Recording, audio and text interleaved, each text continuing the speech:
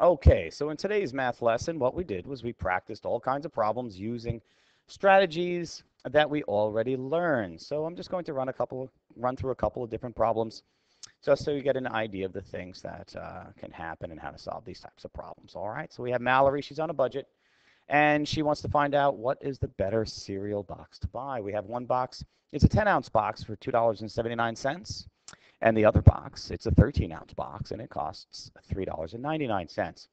And we're looking for the rate here. The rate is going to allow us to determine which is the better buy. By rate, I mean, I'm talking about how much is it per ounce. So I'm going to build two charts. Here's one chart. Here's the 10 ounce box of cereal. And over here will be the 13 ounce box of cereal. And I can put my ounces here and my dollar amount here my ounces here, my dollar amount over here.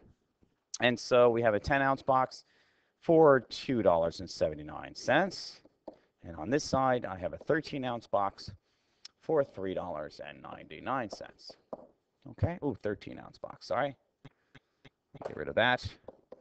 13 ounce box. Now, in order for me to find my rate, I want what is the price for one ounce? Because once I find that, I can find out the better deal. And over here is this is divide by 10.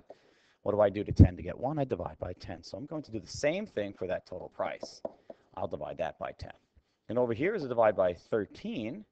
And so I'm going to do the same thing on this side for this one. Okay? I'm noticing I'm dividing by 10, which means everything's going to lose a place value. So a 2 in the 1s will wind up in the 10th place and so on. And I'll wind up with 0.279, which rounds, of course, to an even, not an even, but uh, 28 cents, rounds to 28 cents. There it is. So it's 28 cents per ounce. Here's my rate, 28 cents per ounce. Okay. Now on the other side, I'm going to divide by 13. Here's my 13. Here's my 399. Okay, so 13 goes into uh, 3 in the ones place, 0 times. 39 tenths will go 3 times for 39 tenths. Okay, I get nothing. I bring down that 9 in the hundredths place. Okay. 9 hundredths. Looks like thousandths should be hundredths. There it is. And that'll go 0 times for 0. So I wind up with 9 hundredths again, but I'm going to, because 13 doesn't go into 9 hundredths, I'm going to make it 90 thousandths. Okay, and that's going to go uh, about seven times, six or seven times. Let's just say it goes six times.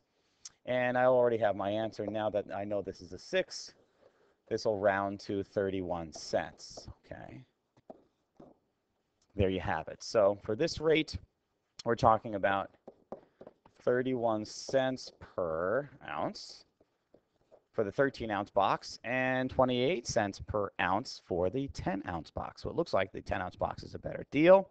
And it says, what is the, oh, which box of cereal should uh, Mallory buy? She should definitely buy the 10 ounce box of cereal because it's 28 cents per ounce versus 31 cents per ounce.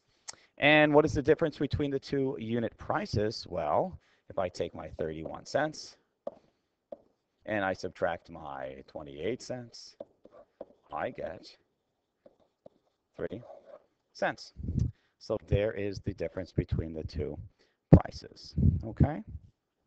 So that's the kind of thing we did today. Let's see if I have enough time to work another problem. Let's see if there's another one here that I'm kind of liking a little bit. Let's see.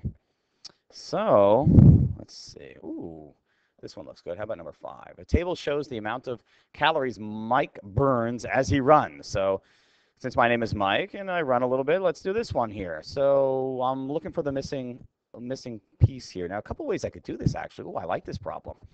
We're looking for this value right here. How many calories does he burn in nine hours? I'm noticing after three hours, I burn 360 calories. After six hours, I burn 720 calories. Now, if I run six hours and three hours, and I put those together, doesn't that mean I've now run nine hours? Uh, yes, actually, that's absolutely true. Well, if I burn 360 calories for the first three hours, then I burn 720 for six hours, um, um, I believe it's true. I should just simply add up those calories, and that'll equal what I did for nine hours. So if I take my 720 and I add my 360, I have this, I have this, I have that, and now I'm feeling pretty good. So that's one way of uh, solving that particular problem. Another way, oh, I'm really liking this problem. I can find the value of the unit rate, which means if I'm going to add, let me do a table. Okay, let's run a little table here. So if I have, uh, let's see, miles and calories. So if I ran three miles and I have 360 calories and I want to find that, that unit value, that rate, how many uh, calories per mile kind of thing, this looks like a divide by 3. This looks like a divide by 3, which means 3 into 360, there's a division problem. That's a 1, that's a 2, that's a 0. This means I'm burning calories at a rate, at a rate of 120 calories per mile, right? I think it's per mile, right? Now, if I want nine miles worth, okay, let me expand this down a little bit here. I want nine miles worth. Now I want this value, okay, which means I'm going to take that one, I'm going to multiply by nine, which means I'm taking 120 and I'm going to multiply that by 9. So if I take the 120 by 9, this is 0, there's an 18. 9 times 1 equals 9, plus 1 equals 10. There's 1,080 calories that way. So that's two ways to solve, to solve the same problem. Okay? So all kinds of fun, fun little things going on here. And uh, that's the deal. Okay, folks? Thanks so much. Take care. Bye-bye.